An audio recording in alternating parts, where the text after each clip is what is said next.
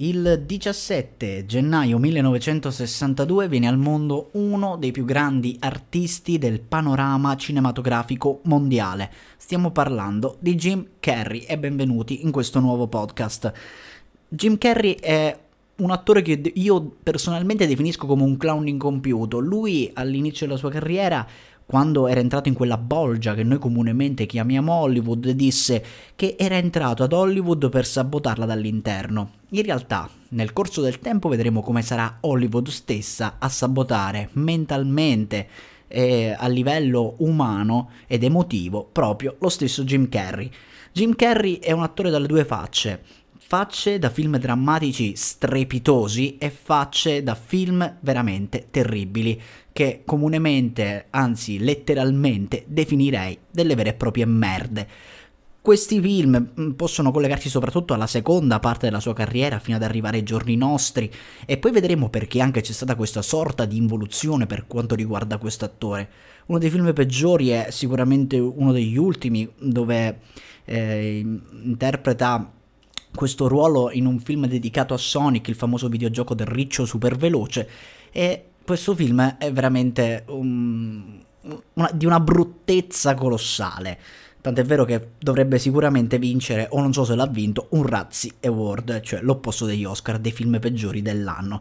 Jim Carrey però è un uomo dalle due facce, molto spesso i suoi film sono stati demenziali, e con una mh, mm, comicità non tanto ricercata. È famosissima la sua interpretazione per il ruolo di Ace Ventura che io uh, non riesco a stimare completamente, anzi credo che sia uno... Mh, ci siano sì dei momenti iconici per quanto riguarda la carriera dell'attore, ma che porta con sé delle scorie molto ma molto negative. Questa saga che si è portata per tanto tempo, ma che sicuramente non ha dato lustro a quello che era il vero talento di Jim Carrey, ovvero la drammaticità. È bello ricordare alcuni film, soprattutto per gli anni 90, che sono stati i suoi anni d'oro, come per esempio anche Bugiardo Bugiardo, ma che non ha um, avuto, diciamo così, una, um, un successo sì per quanto riguardava il botteghino, ma non ha avuto un successo, diciamo così, nell'immaginario collettivo uh, della gente che ha ammirato Jim Carrey. Jim Carrey ha portato avanti ruoli i- iconici e il termine iconico è davvero molto importante quando si parla di Jim Jim Carrey, l'uomo di gomma veniva definito e le imitazioni che, farà, che fa ai Golden Globe quando imita Clint Eastwood, Robert De Niro, sono veramente straordinarie, facciano vedere una plasticità del suo viso che è veramente irricercabile e introvabile in tantissimi altri attori che hanno comunque seguito le sue stesse orme per quanto riguarda la comicità. Però i film demenziali che ha portato avanti sono stati terribili e ricordavamo, ecco, il termine iconico che si ripete perché il ruolo del Grinch che viene portato per la prima volta al cinema appartiene proprio a Jim Carrey che gli, gli dona le movenze. E il Grinch è un personaggio straordinario, questa invenzione che viene fatta dal dottor Seuss di questo, um, di questo essere che vuole, eh, che odia il Natale per dei motivi specifici, per una sorta di trauma che aveva portato dietro con sé, si, ehm, si, manifestano all'interno della pellicola e Jim Carrey non fa altro che migliorare esponenzialmente quel ruolo.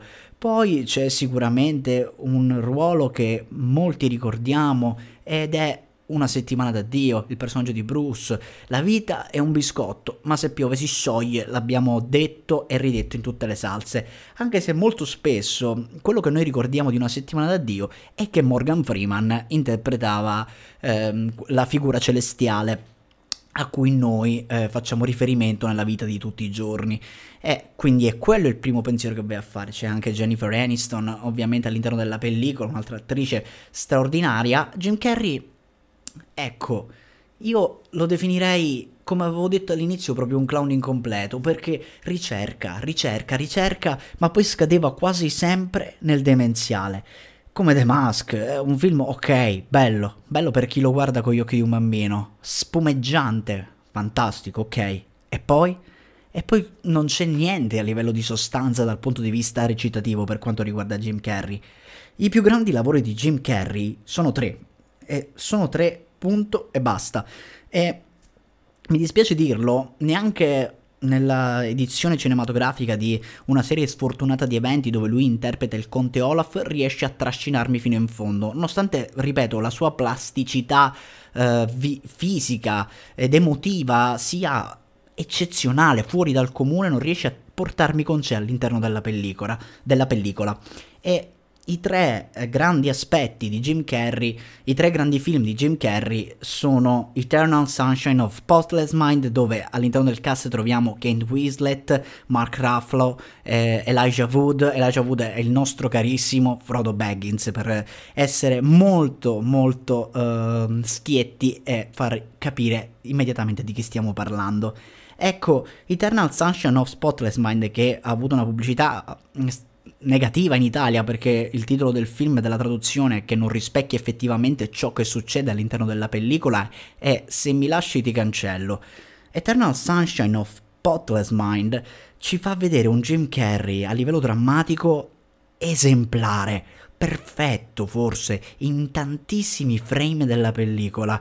E questo film che è scritto da Dio ehm, fa, diciamo così, barba e shampoo, barba e capelli a tutta la serie di Black Mirror, perché questo è ciò che anticipa Black Mirror, lo schermo nero che ci rovinerà la vita, ovvero i cambiamenti, il dimenticarsi di qualcuno a causa di una forza maggiore, a causa della tecnologia. Eh, sicuramente è il primo film che dovete vedere se amate Jim Carrey sotto il lato comico, sotto il, la- lato demenziale. Ecco, qui vi fa capire che è un vero attore di livello strepitoso. Un altro film che sicuramente fa parte della storia di Jim Carrey, da cui eh, consiglio di vedere anche la serie su Netflix eh, che si chiama Jim Andy. Jim lui, Jim Carrey, persona fisica, Andy invece è il personaggio che interpretava in Man of the Moon.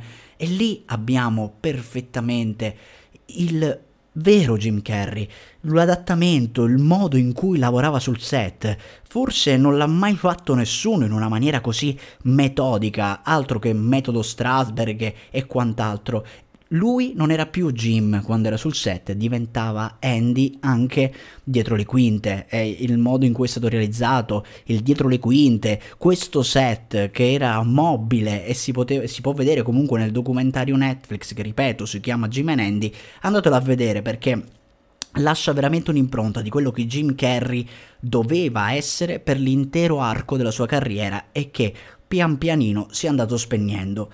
Ma il film sicuramente che porta con sé anche i premi che poi, eh, meritatissimi, si porta a casa lo stesso Jim, è The Truman Show. Allora, The Truman Show è, un... è il grande fratello. È il grande fratello di George Orwell visto però dagli occhi di una persona sola. Cioè tutto il mondo si concentra su Truman, questo ragazzo che è nato e cresciuto all'interno di un reality show. E fino a una certa età non si era neanche accorto di vivere una vita assurda con... Eh, fanno tantissimo ridere le parti pubblicitarie. Ecco qui, anche qui, Black Mirror insegue qualcosa che già esisteva.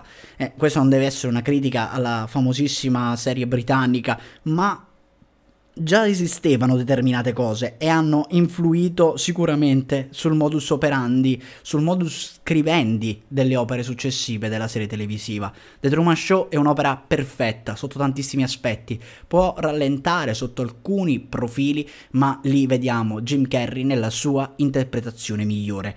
Purtroppo um, non riesco a trovare altre pellicole dove Jim Carrey riesca a mm, suscitare verso, nei confronti del pubblico, ecco, una empatia tale da eh, portarci dentro la pellicola con lui. Cosa intendo? Che negli spettacoli demenziali sì, ci fa ridere, ci tiene compagnia, soprattutto quando eravamo bambini, ma visti in un'ottica diversa, in un'ottica più matura, sicuramente non ci lasciano granché.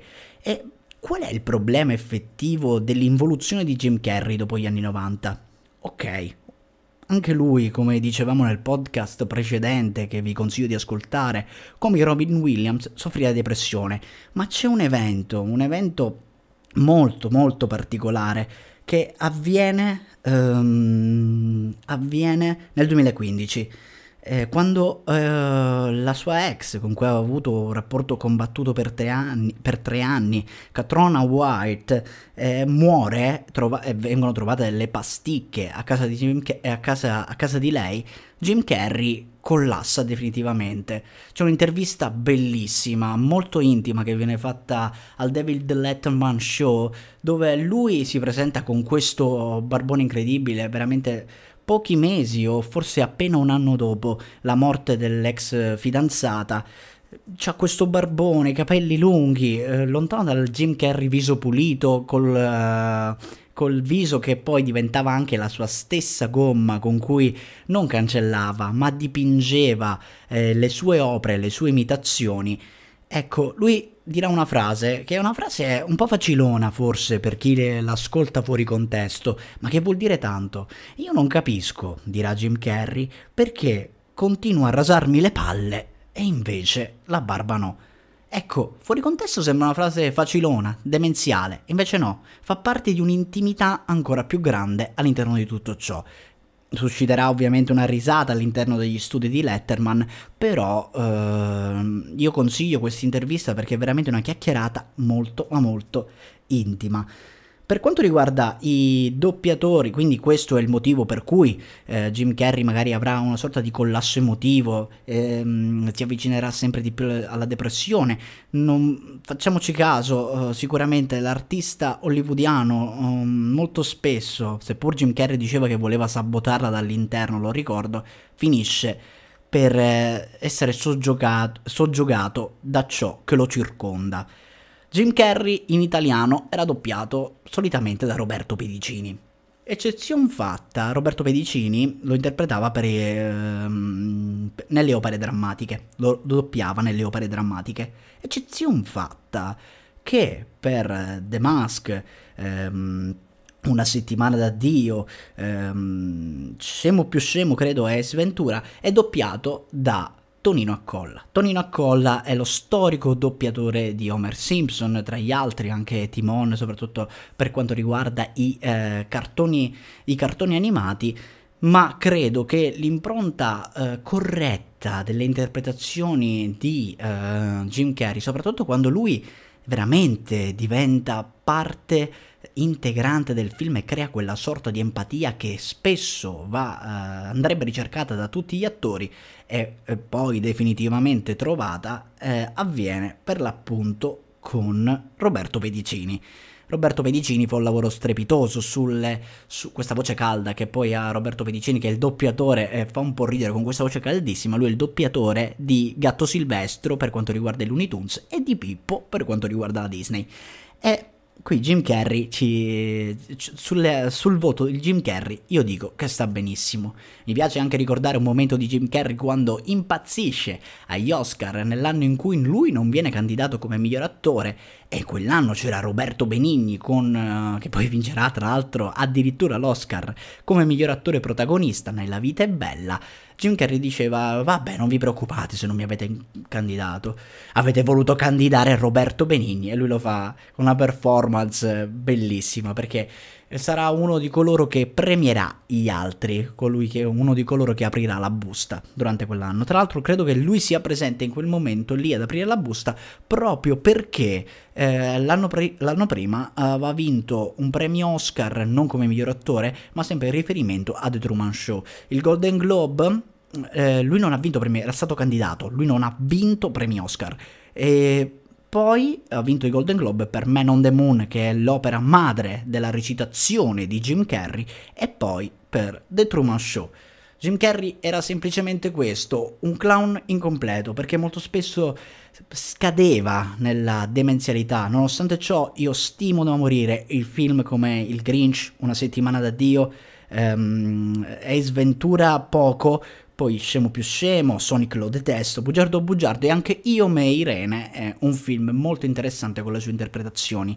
Ecco, lo stimo sotto... lo stimo a metà Jim Carrey, perché ha dato tanto, ma purtroppo non è riuscito a dare di più. E se per caso non vi rivedessi, buon pomeriggio, buonasera e buonanotte.